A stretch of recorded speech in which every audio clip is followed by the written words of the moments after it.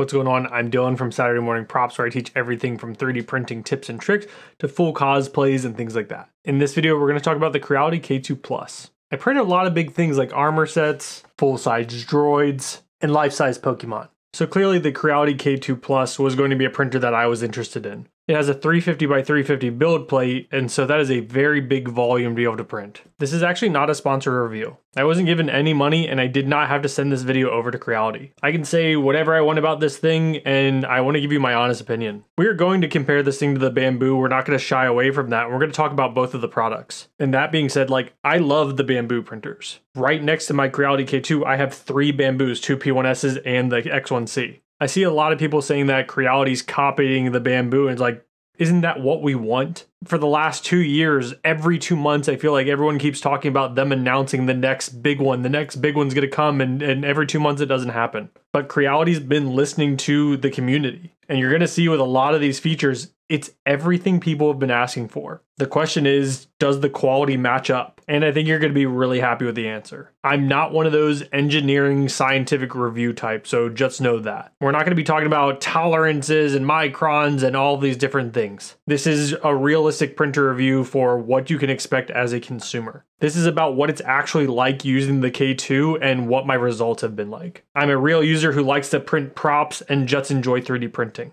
We're going to showcase print quality and things like that. So if that sounds good, let's get into this. If not, but if you have any questions about this machine, I'll do a follow-up video. So drop your comments down below and let me know what things do you want to see or tested or anything like that. Something that maybe I didn't talk about in this video that you're interested in. So let's start with the unboxing. I literally didn't do an unboxing video because it was so simple. I filmed everything and then realized I had nothing to show for a video. It seriously is open it up, put it on there, you unscrew like four bolts, you attach the screen, and you plug in some PTFE tubes. It is ridiculously simple. If you've built one of the Bambus, it is identical to that. You unscrew the bed, you plug in some tubes, and that thing is ready to roll. The printer is extremely heavy though. For me, I had to bring it up here into the studio where it's not even going to exist. It exists in another room. And it was so heavy trying to get it in here by myself to get it onto the table to start filming all of those things and then take that and move it into the other room. It is a big, solid printer. I can tell you though, when unboxing it, it was a great experience and everything feels very high quality. Next, let's talk about the slicer.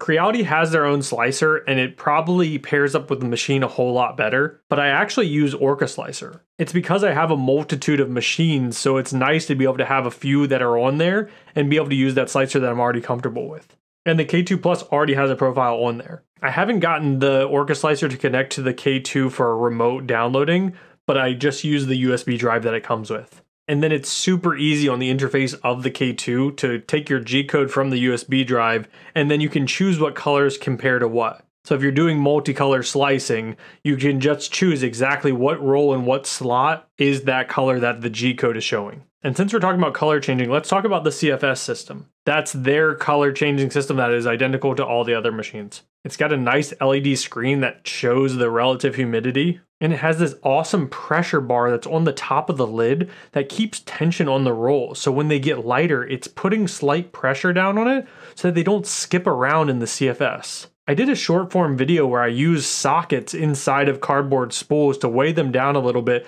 so that they don't hop around in the AMS when it gets low. This spring loaded pressure system is awesome and gets rid of that need for that. Creality is also now coming out with spools that have their own RFID system in them. So it will know exactly what filament type is in the loader, or if you're using a different brand, you can just type in what it is, whether it be a PLA, a matte PLA, a silk PLA, and then choose but most of the settings are going to come from the G code in the slicer in the first place. The CFS is one of my favorite parts of this whole thing, not because I do a lot of color changing, because I actually don't do a lot of color changing. But with a printer that big, you're going to be doing parts that are going to take more than a thousand grams of filament. So now that you can do two rolls, three rolls, four rolls, you can do very big prints that utilize that large format and go through the whole thing. I don't know if you can tell what this is, but this is from a Digimon. I'm doing it life size, and that head is going to take up the entire build volume of this printer. And it's going to take over a thousand grams of filament. But now I can put in two rolls of the same matte pink PLA and let it go through, and I don't have to sit there and watch it. I don't have to change it over or anything like that. it's going to continuously do that. There are big two kilogram and three kilogram spools out there, but a lot of these printers don't have spool holders that let you run a big filament like that. And those spools usually only come in black or white. But now I can do large colored prints that are over a thousand grams and being able to use different colors of filament if I need to run out. So, say you aren't printing something in the color it needs to be, but you have a little bit left over yellow or red or green, you can put them all in there, tell the CFS that it's the same color, and just run it all the way through and use up every ounce of that filament. When you start doing that, you realize how awesome it is being able to just empty all of your spools but I have done color changing as well. This is my pit droid here, and I decided to do the whole head, and being able to do the color changing here was awesome. But this is about the extent of color changing that I like to do usually because this is one where it does all this layer one color, it does one purge, and then switches colors and goes up. I don't do a lot of the ones where it swaps between a million color shifts all the way back and forth. I do it sometimes. But now let's talk about more features that I like about the K2 itself, not just the color changing system. Clearly the build volume, a 350 by 350 build plate. Technically I think it's 370 by 370, but the build area is 350 by 350. That is a significant increase over the Bambus. The K1 was 300 by 300 it was a good increase, but it wasn't a big enough increase to where I would utilize it that much. I would use the Bambus that anything that would fit on 256 by 256, which is a lot of the helmets do, but the things that needed to go over that often were still even too big for 300 by 300. And so I'd have to go over to something like the Elegoo Neptune 3 Max that had an even bigger build plate. So that middle ground of the K1 Max at 300 by 300 kind of missed its mark for me but 350 by 350 is amazing. It allows me to jump from that printer over here and do a lot of things that now I don't have to go over to a big bed slinger. I now have this awesome big box printer. It's a simple one and pretty common these days, but a textured build plate. Again, the K1 Max came with a smooth plate. This one comes with a textured one more like the Ender 3 V3 Plus. I appreciate the grip that you get from it and it works really well. This one might be my absolute favorite part of this new printer is the hot end does not have that locking mechanism. If you've used the K1 Max, the K1 or the K1C, anything like that, or the Ender 3v3, there's this switch at the top that you have to lock and unlock the filament. So when you load it in, you have to unlock it, stick it down in there. Half the time I have to move the PTFE tube to get it in there and then lock it back into place, hit extrude, get it to go through all that. No more of that. With the CFS and things like that, you can just put the filament into there, load it through, and then it goes through and it loads when it needs it. It has been so nice. Because half the time I either have to leave the glass door of the top of the K1 Max off so that we could reach in and do all of that or everything like that. It just it was a pain for me. But now the K2 has fixed that issue and it's wonderful. Another great thing, the quick change nozzles. So you can take the nozzle completely out without having to take everything apart. On my K1 Max, I used a micro Swiss conversion kit that changed the hot end to where I could unscrew the nozzle and screw in a new one. Now the K2 just does that. Another simple one, but they're just listening to the complaints that people have. The door opens up wider. Instead of it stopping right here, it opens up wider. Instead of you having to 3D print some sort of mechanism to open up the door more and do all of that, it opens up wider. I just hope you guys understand that Creality is listening to us. The, the community has been asking for all of these different things, and they're doing that. So whether they're copying the good, but then they're improving on the things that we want too. Another one, I don't know if this fixes print quality or whatever, but it feels like it does,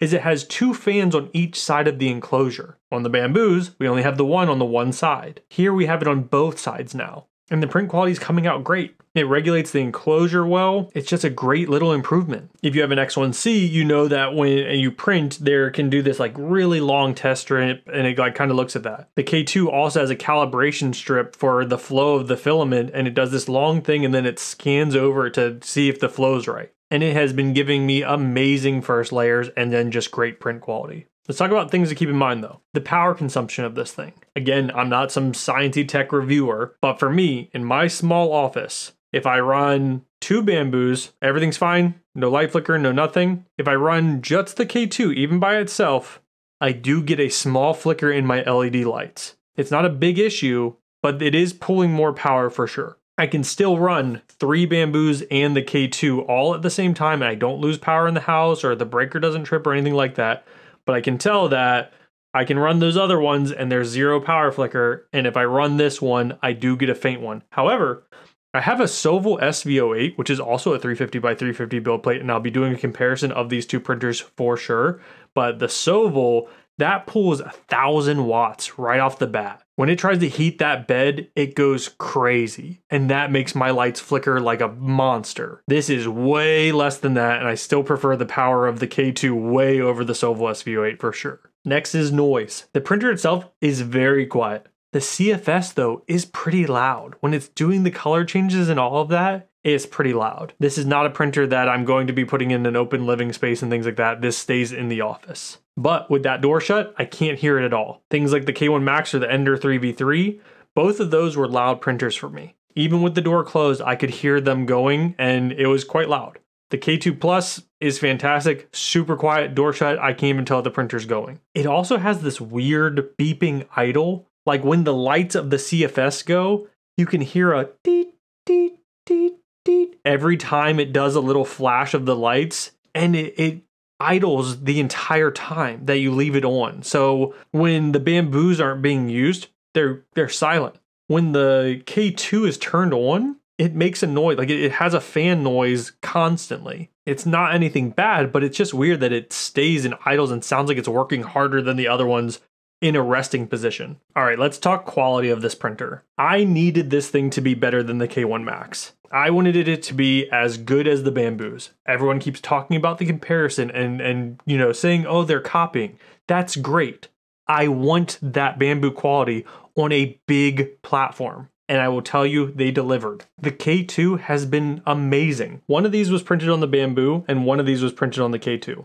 I've been doing side by side prints of the same thing and you can't tell the difference. That is a great thing. They've matched the quality and sometimes it even beats the other machines. If you see this weird curling on the corners here, that's the X1C.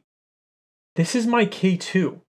It actually did that better and it started the spheres better. These were printed in the same exact orientation. But if you look at this print, you will never know which pieces come off of the K2 and which come off the X1C. That could honestly be the whole video. Even if it didn't beat the X1C, if it just matched the quality of it, I was going to be so happy. Even it came close. You know, the fact that it has a bigger build volume and came close to the quality, I would have been happy. But this is just as good and sometimes better. And the prints finished faster, negligibly, like maybe 10, 15 minutes. Speed isn't the biggest thing for me at all because I can't finish props as fast as the printers can do them. I get a huge backlog, so speed isn't important to me, but if that's important to you, the quality is what's important to me, and the quality has just been phenomenal. I've been so happy with this printer. And there's another thing that makes the quality sometimes better. It's print orientation. Because when you're using the Bambu, sometimes you have to lean things back weird because it's not going to fit in the build volume. So you've got to put it in an awkward angle so it creates more overhangs and things like that. You aren't restricted by most things with the K2 because you can angle it any way you need to because it's so big. So you can give it the best print orientation and get an even better print. When directly comparing them, I try to put them in the exact same print orientation, calculating the same angles for everything. But if I wasn't doing a comparison, I could put the K2 in better positions because it's bigger. The only thing I can't say about the K2 is longevity. We don't know that, so that's just not fair. We have no idea about reliability and things like that but everything that we can do and test right now, this thing is amazing. You're going to be so happy with this machine. I know they have shipping delays for some of the pre-orders and things like that, and there's been a little bit of a fiasco with that. I'll have an affiliate link in the description here that you can support the channel by by using for sure. And I think the ones without the color changing systems are shipping within like three days, but if it has a color changing system, I think they're a little delayed right now, which is expected with a brand new item where, you know, it's hard to know how many people are going to want. I'm loving this machine and I really think that it's a great printer. Like I said, I also have the Sovol SV08, which is another 350 by 350 Core XY printer. And yeah, we can do a comparison of those two things and I can show you that. But one is definitely significantly more than the other and it has a lot more amenities than the other. But if you want to see that, let me know in the comments down below. And again, if there is any questions of things that I didn't cover well or things that you're interested in with the machine, something that you need to be tested or whatever before picking one up, let me know in these comments so I can do a follow-up video for you guys. I hope this video was everything that you needed to see for buying one or whether you need to pass on one or whatever, whether you're still waiting out for a bigger one from the other company and everything like that. But I hope this video really helps you out. I'm trying to share everything that I know and I've experienced so far. Hopefully it helps you make decisions for Black Friday or, you know, the holidays and things like that. I'll catch you in the next one. Love you guys. Peace.